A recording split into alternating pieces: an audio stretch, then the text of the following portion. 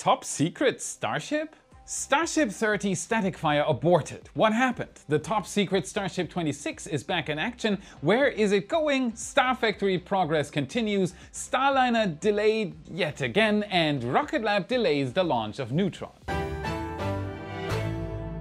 My name is Felix, welcome to What About It. Let's dive right in. Starship updates. Another packed week at Starbase. The launch is getting closer, preparations for Flight 5 are underway, and a plot twist no one was expecting happened.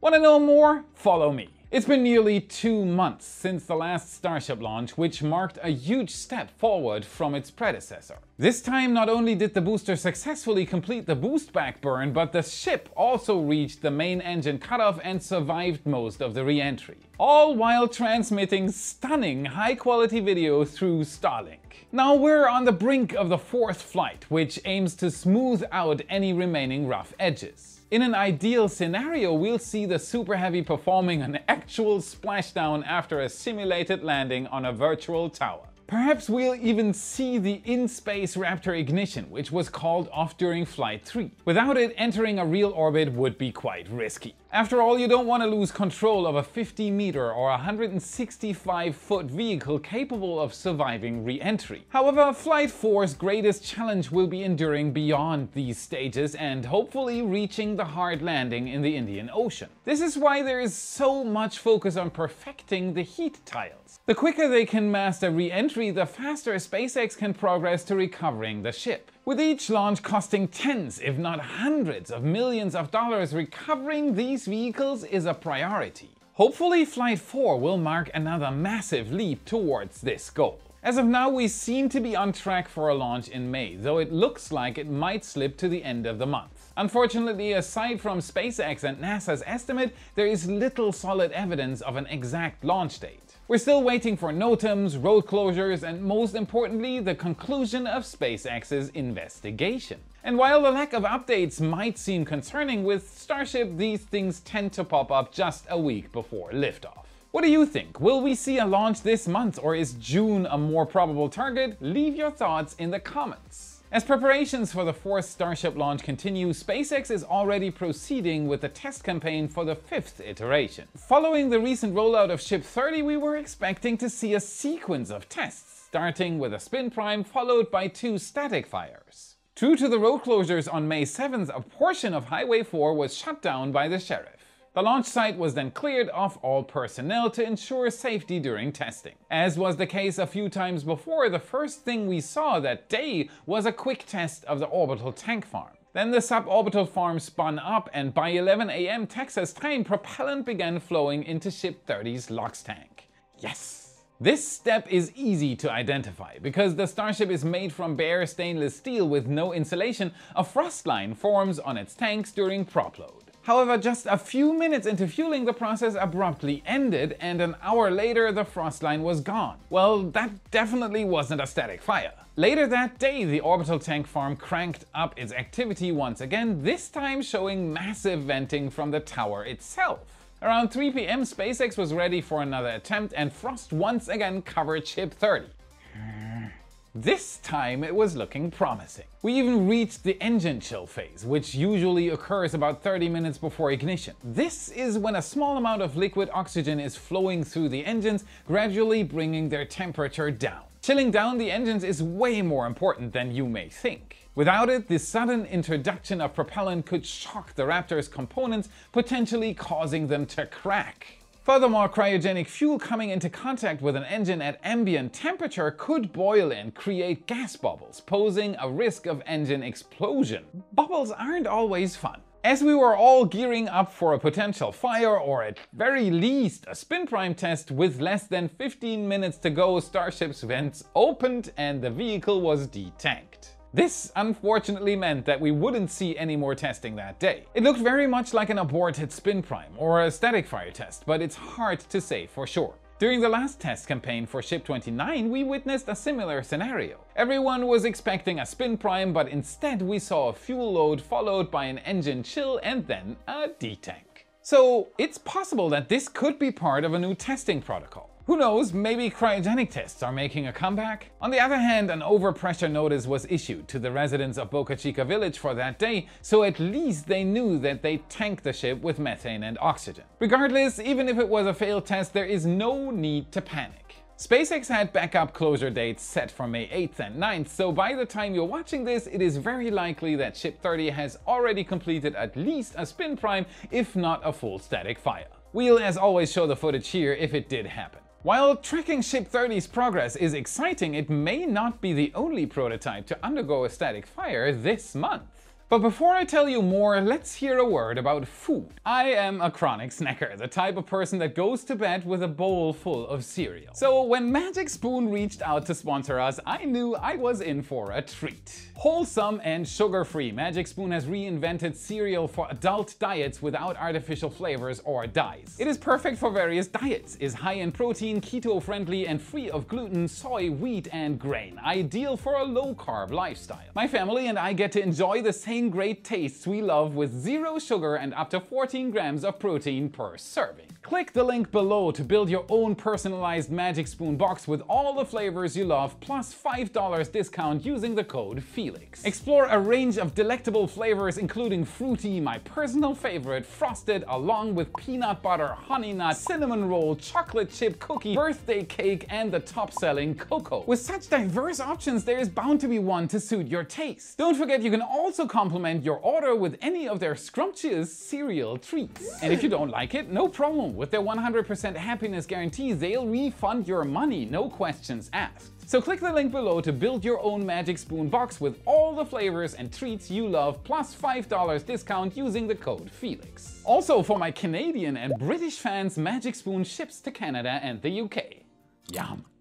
Okay, belly filled, let's head over to the production site. Here at the Rocket Garden, SpaceX stores prototypes either awaiting their turn or destined to be scrapped. Among them, one prototype clearly stands out. Yes, I am talking about Ship 26. This particular prototype has been the subject of much speculation back when it left the high bay. It, along with Ship 27, represented a departure from the standard Starship design. Both prototypes lacked aft and forward flaps as well as the heat shield. One notable difference between Ship 26 and 27 was the absence of a payload bay in the former. SpaceX never disclosed the intended purpose of these prototypes. There was speculation that perhaps they were expandable versions of Starship, designed to minimize costs and mass to start launching Starlinks ASAP. However, this clearly wasn't its purpose, the top secret Starship. Others speculated that these prototypes were linked to NASA's Human Landing System. Initially, there was hope that ships 26 and 27 would serve as test articles for in-orbit propellant transfer.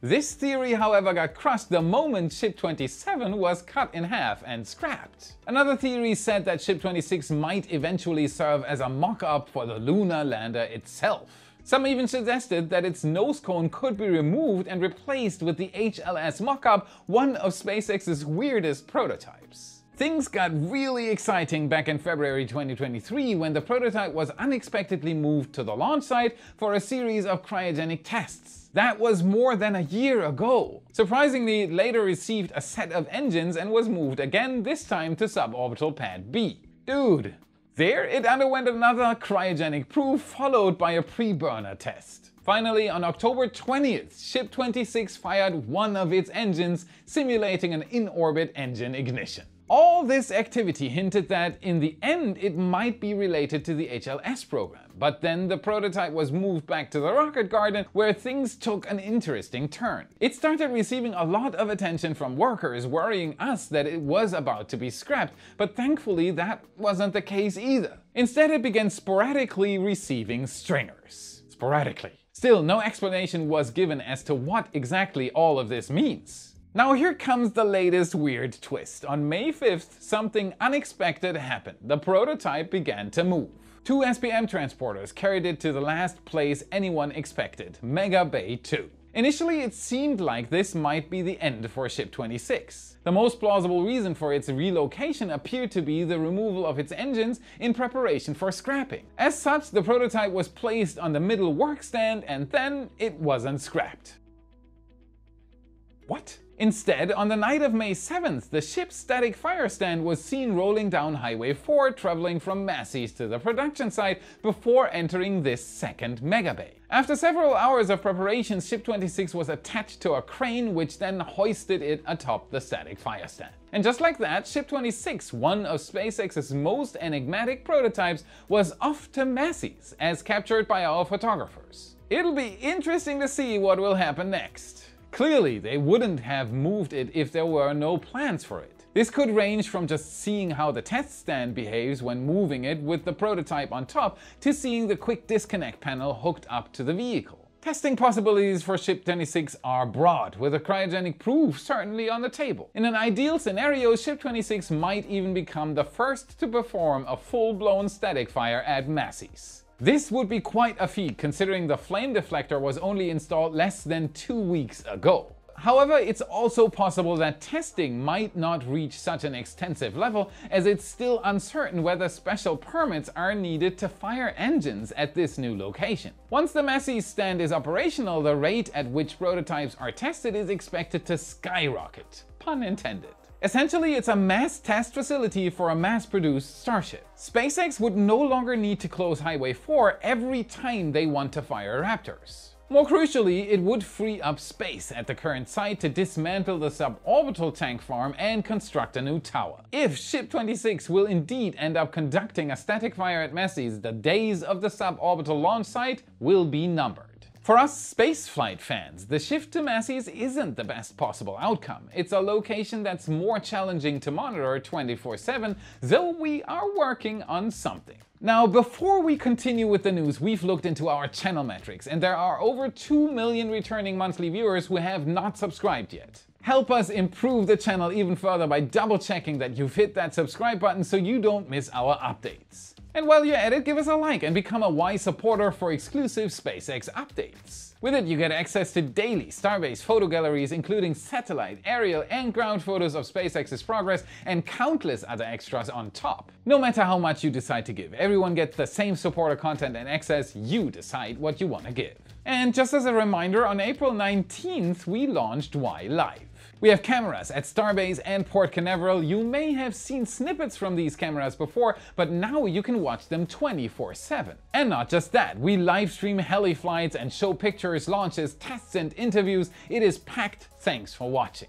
Okay, back to the production site. While the new test stand at Massey's will help streamline Starship testing, the production of the prototypes is also expected to ramp up soon. All thanks to Star Factory, which at least externally looks almost finished. Over the past few weeks, workers have been busy installing glass windows along the facade, and it's starting to look pretty. Just the top row of windows remains along with what looks to be some curved glass for the front corner. Aside from a bit of cladding that still needs to be added, a task that should be quick and easy, the exterior is nearly done. Of course, the real magic is happening inside, where unfortunately we can't sneak a peek. I imagine that much of the tooling inside is already operational. Progress is also very swift at the back of the factory, where an office mezzanine is quickly taking shape. From the looks of it, it appears to be already 5 levels tall in one section, which should be the final height of the building. Although the official completion date for this project is set for January 1st of 2025,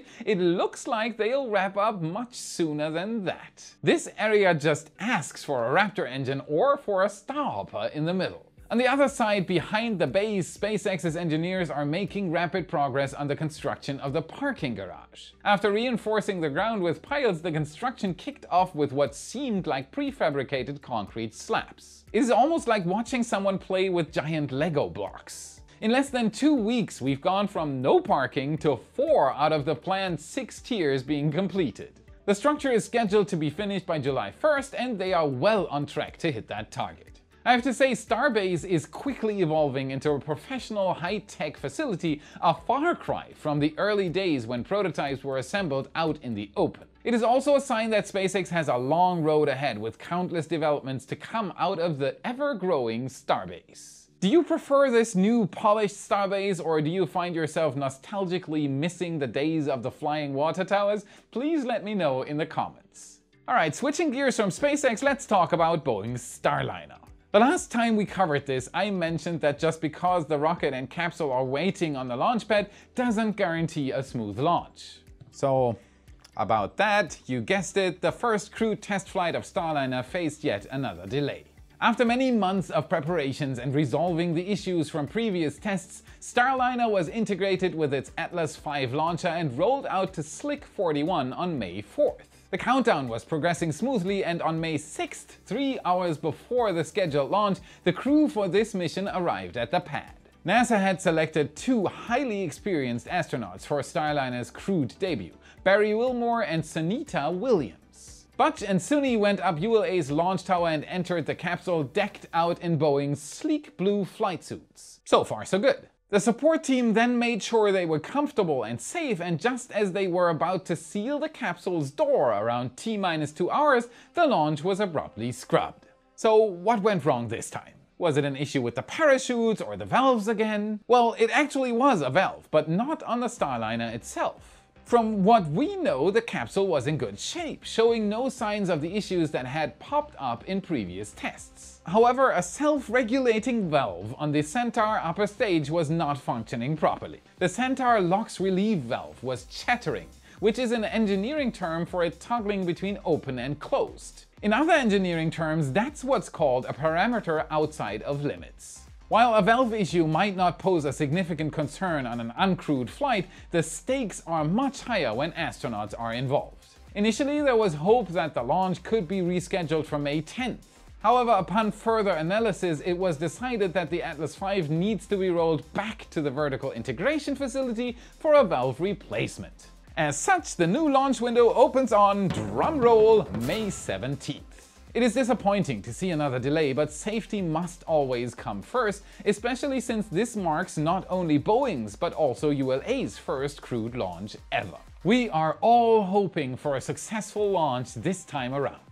And no, we are not being sponsored by Boeing to say that, or are we? Lastly, let's talk about Rocket Lab's giant info dump on what their future holds. They recently released another quarterly investor update, and as always, there is a lot of interesting stuff to unpack. This year alone, Rocket Lab has already executed five missions. The most recent one involved deploying a solar sail for NASA and a satellite for another company which we discussed a few episodes ago. This mission was particularly significant for Rocket Lab as it marked only the second time their kick stage deployed satellites at two different apogees.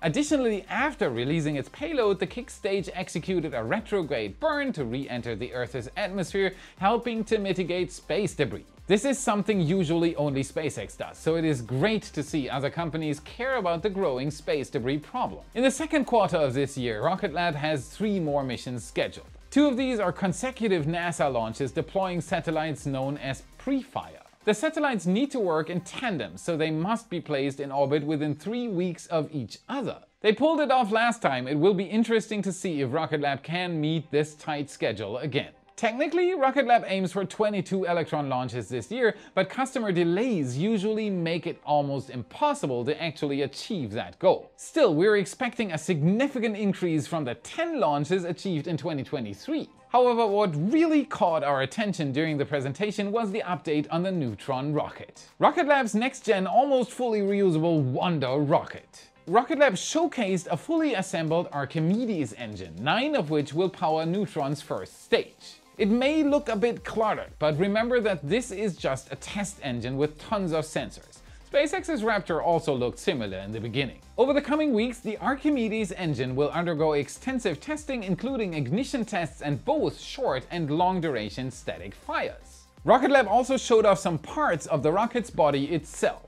The first panels for the fairing have been completed and the Stage 2 tank is ready for final assembly and integration. The components necessary for assembling the first tank are also partially finished. Earlier this year, Rocket Lab was confident that they could launch Neutron by the end of 2024. Back then, I said there was no way that they would be able to assemble the whole rocket, test it, and build the launch site in just a few months. Unfortunately, it looks like I was correct. The launch has now been officially rescheduled for mid-2025, assuming no further delays.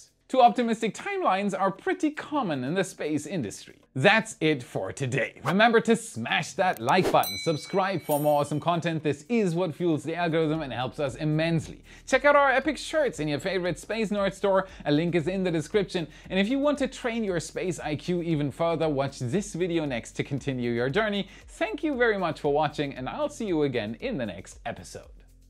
In an, ide in an ideal... Uh, belly filled. Maybe I should suck it in before doing that.